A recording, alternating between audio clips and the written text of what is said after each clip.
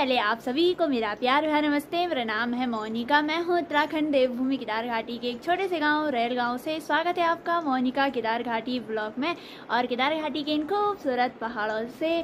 तो दोस्तों, आज मेरे ब्लॉग की स्टार्टिंग सुबह की लगभग साढ़े आठ बजे से हो रही है और नाश्ता वगैरह भी हो गया है और आज काफ़ी अच्छी तेज़ धूप खिली हुई है। मेरी मम्मी ने ब्रेकफास्ट वगैरह भी कर दिया है और मम्मी यहाँ पे आग सेक रही है। तो अब मम्मी लेके जाएगी काली को, है ना mummy? Hello, good morning, Radhe Radhe. कैसे हो आप लोग? सब अच्छे होंगे? हम भी अच्छे हैं। तो आजकल पहाड़ों का मौसम थोड़ा बहुत ठीक हो रखा है। ठंडा तो सुबह में हो ही रहा है केदार घाटी में और केदारनाथ में आजकल तो थोड़ा थोड़ा गर्मी भी बैठने लग गई है। और अब मोनिका जाएगी नीचे किचन गार्डन में और मैं जाऊँगी भैंस लेके नीचे मन्नाथनी नदी तक अभी धूप तो हमारे घर पे लगी नहीं, बाकी यहाँ नीचे सीढ़ियों में लग चुकी है धूप और आज मौसम देखिए भाई, काफ़ी सुहावना है। आसमान बिल्कुल क्लीन है।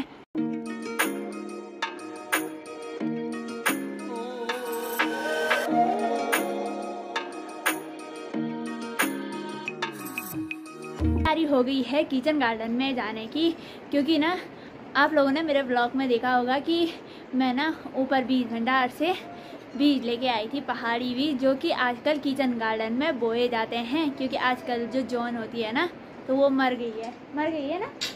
हाँ तो अब बीजों को बोने की तैयारी हो रही है तो आज मैं बीज बोऊँगी किचन गार्डन में। तो क्या क्या बीज बोने वाली हूँ, आप लोग वीडियो में कंटिन्यू बने रहिए किचन गार्डन में जाके बताऊँगी। तो इस पॉलिथीन में मैंने ना कुछ बीज रख दिए हैं, कुछ बीज हम बाद में बोएँगे।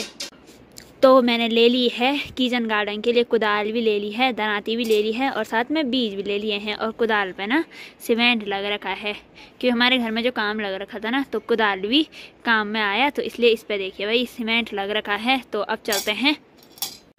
तो चलिए जी, चलते हैं गौशाला से होकर किचन गार्डन में, क्योंकि ना मुझे गौशाला से ना वो भी लेनी है कंडी गोबर डालने के लिए। बाकी हमारी काली आराम से जुगारी लगाने पर लगी हुई है और बाकी घास उसकी थोड़ा बहुत खतपत कर रखी है। तो मम्मी ना काली को ले जाएगी। तो यहाँ पे ये रही कंडी। तो कंडी का ना एक काखा टूट रखा है और एक काखा है और ऐसे मैंने ना चुन्नी लगा रखी है इस पर तो अब लेके चलती हूँ कंडी को नीचे।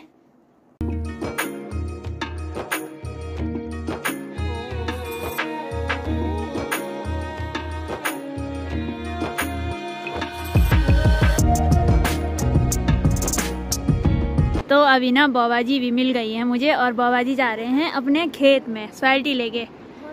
हाँ। बाबा जी नाश्ता वेगी अच्छा अब आ घरे गण जाना की? अच्छा घरे गाड़ी सकली?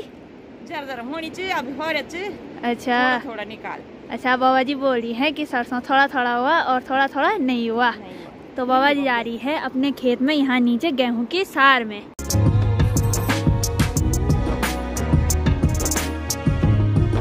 चलिए जी बाबा जी तो चली गई है अपने खेत में, बाकी अब मैं भी जा रही हूँ अपने सगोड़े में। और एक साइड मेरी साल्टी रख रखी है और एक साइड कंडी रख रखी है।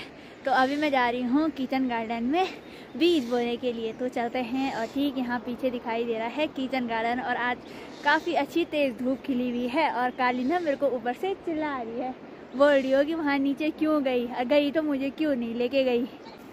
तो चलिए जी, अब चलते हैं यहाँ ऊपर वाले सगोड़े में और ऊपर वाले सगोड़े में जाने के लिए छोटी छोटी सीढ़ियाँ बनाई गई हैं। तो चलिए जी, अब चलते हैं। बाकी यहाँ पे देखिए भाई, धनिया पे फूल भी आना स्टार्ट हो गया है और अब देखिए, इस पे दाने भी आ जाएँगे। ये देखिए, फूल गया है, पूरी तरह से धनिया।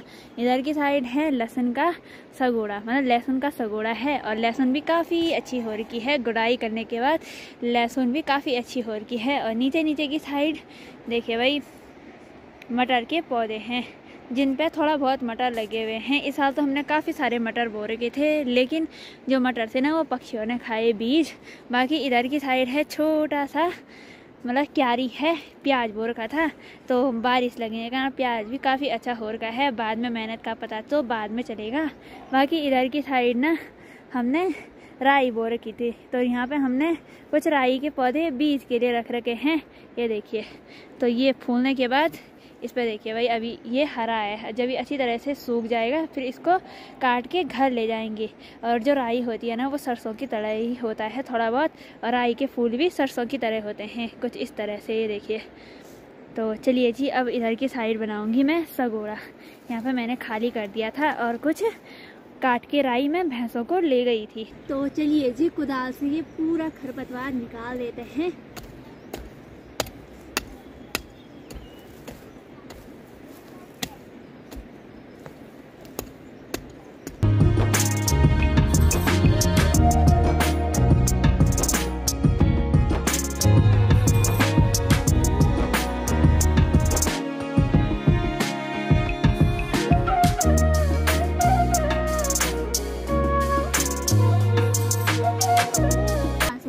खरपतवार निकाल रही हूँ ना? ऐसा लग रहा है ये पूरी बंजर ज़मीन होगी। इतना महँगा हो रहा है।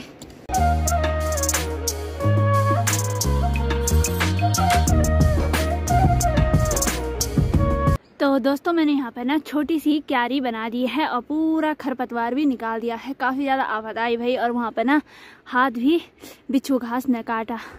मेरा तो अब ना मैं यहाँ गोबर डालूँगी। तो चलिए जी, अब चलते हैं। और ऊपर देखिए, काली मुझे ही देख रही है नीचे। बोल रही होगी, क्या कर रही है? और चिल्ला रही है ऊपर से। और वो वाली भैंस तो आराम से रहती है, लेकिन काली जैसे ही हमको यहाँ नीचे खेत में देखती है ना तो चिल्लाना शुरू कर देती है। और आजकल ना, हमारे गाँव में ना, बंदर भी आ रखे हैं तो बंदर ने ना इतना आतंक मचा रखा है ना, यहाँ किचन गार्डन में। बोले ही क्या? तो चलते हैं अभी। गोबर के लिए और आधा आधा कंडी ही गोबर की लाऊँगी क्योंकि ना इसका ना एक काखा टूट रखा है। तो चलते हैं उधर और गोबर भी बारीक खाद भरूँगी क्योंकि जो बारीक खाद होती है वो काफ़ी अच्छी होती है, किचन गार्डन के लिए हो, चाहे खेतों के लिए हो। यहाँ पे लगाई हुई ही रहती है हमारी गोबर की ढेर। तो कच्चा लदू हम यहीं डालते हैं। मतलब जो कच्चा गोबर होता है, हम यहीं डालते हैं। बाकी इधर की साइड ना हमने गाँव की भाभी लोगों के लिए भी गोबर दे रखा था। मतलब खाद दे रखी थी ले जाने के लिए। तो मतलब किचन गार्डन में ले गए वो अपने। तो ये देखिए भाई तो यहाँ है बारीक खाद। बिल्कुल बारीक ये देखिए। तो ये काफ़ी अच्छी होती है ये वाली खाद। उधर की साइड से सिर्फ़ कच्चा लदूली है। चलिए तो चलिए जी, अब यहाँ से मैं खाद भर लेती हूँ।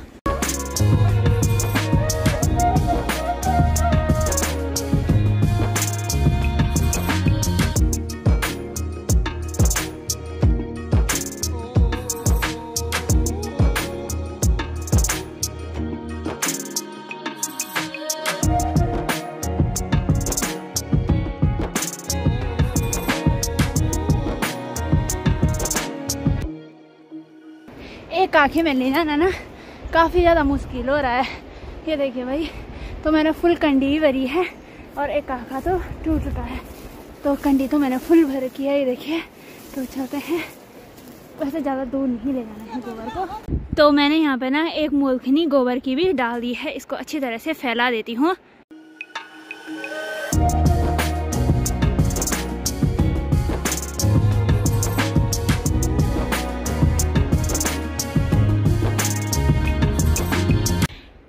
एक कंडी तो मैंने यहाँ पे फैला दी है अच्छी तरह से। अब चलते हैं दूसरी वाली कंडी के लिए। तो मैं यहाँ पे ना दूसरी कंडी भी ला गई हूँ और अभी मैं लाई हूँ सिर्फ़ आधा कंडी। तो इसको भी अच्छी तरह से फैलाऊँगी यहाँ पे। तो अच्छी तरह से गोबर भी फैला दिया है मैंने यहाँ पे। तो अब खाद तो डाल दी है। और मैंने यहाँ सल्टी के ना नीचे छिपा रखे थे बीज। क्योंकि ना बंदर आ रहा है तो आप लोगों को खुला के बताते हैं इसमें कौन कौन से बीज हैं। तो इस पे है बीन्स के बीज। और इस पे देखते हैं क्या है। इस पे है ककड़ी के बीज, थोड़ा ही ला रखे हैं और कुछ हम बाद में बोएँगे। तो इस पे ये रहा। इस पे देखते हैं क्या है। अरे गिर गया इस पे है खीरे के बीज। तो ये मैंने लाई रखे हैं, काफ़ी सारे ला रखे हैं। इस पर देखते हैं किस चीज़ के बीज हैं। इस पे हैं कड़वे, करेले के बीज। अब इस पे देखते हैं। इस पे ना कद्दू के बीज हैं। ये देखिए गोल वाले कद्दू के बीज हैं इसमें। ये देखिए, ये हमने कली निकाले हैं कद्दू के अंदर से। और इसमें है लंबे वाले कद्दू के बीज। तो कुछ इस तरह से होते हैं। तो जो ये बीन्स के बीज है ना तो इनको मैं दो दो करके बोऊँगी।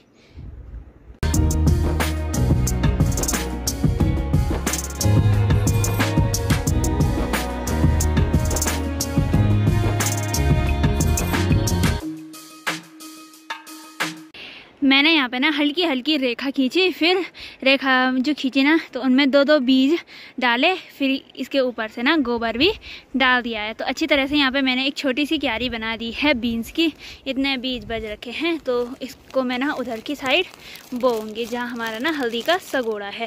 तो वहाँ चलते हैं। जो कड़वे करेले के बीज है ना तो इसको मैं ना इधर की साइड बो लेती हूँ।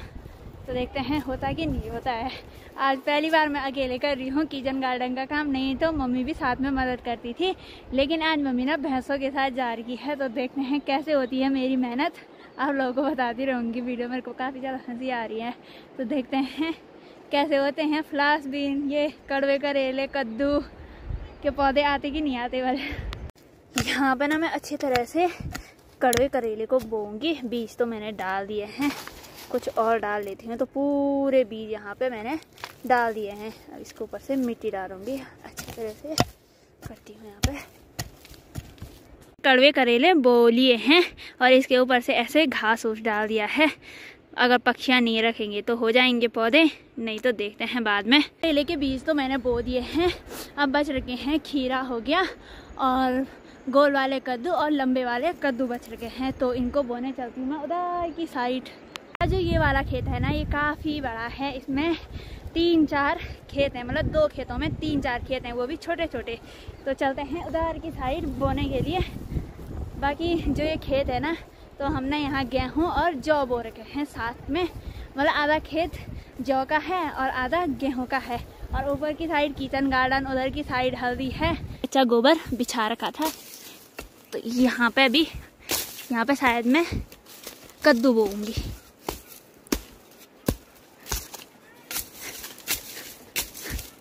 तो यहाँ पे मैं बोऊँगी लंबे वाले कद्दू। तो इतने बीज बहुत हैं।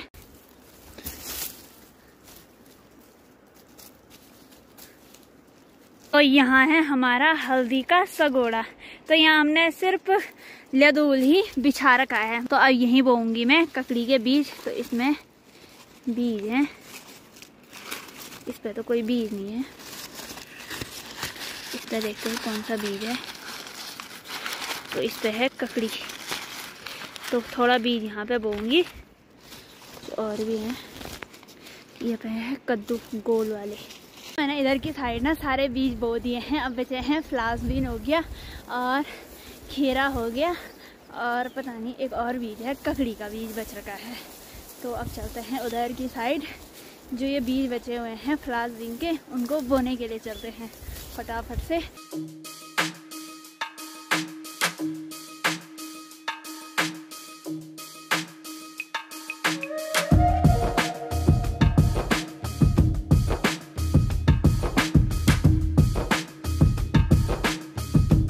किचन गार्डन में काफ़ी सारा काम बचा हुआ है। फ़िलहाल तो मैं आ रही थी यहाँ बीज बोने के लिए।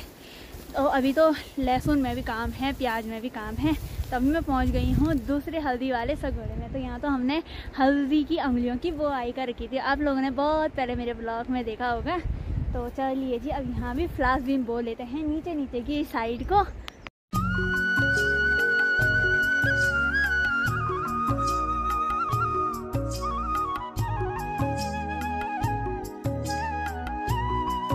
वाले सगोड़े में भी नीचे नीचे की साइड को फ्लास भी बो दिए हैं और उधर की साइड में ना खीरा बोया है। तो अब ककड़ी के बीज बच रखे हैं। तो ककड़ी के बीज ना यहाँ ऊपर साइड बो लेती हूँ मैं। तो जो ककड़ी के बीज है ना तो उसको मैं यहाँ पर बो लेती हूँ।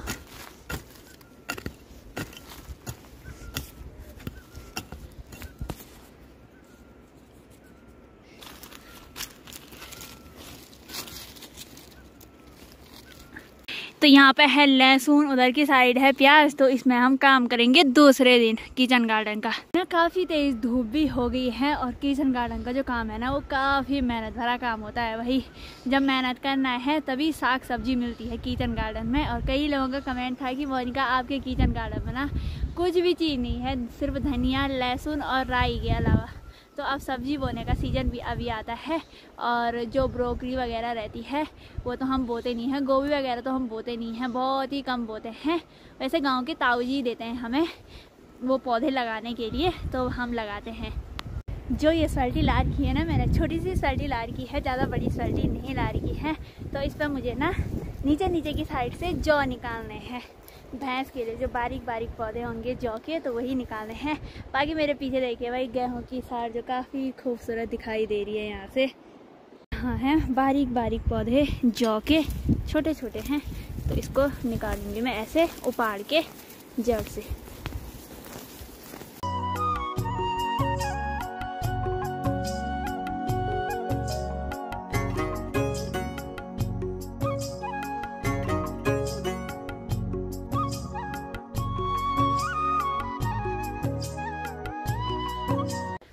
मैंने ना, इस बाल्टी में इतने जौ निकाल दिए हैं तो इतना बहुत है। इतना बहुत होता है डालने के लिए बाहर पे, जब आएँगे भैंसे।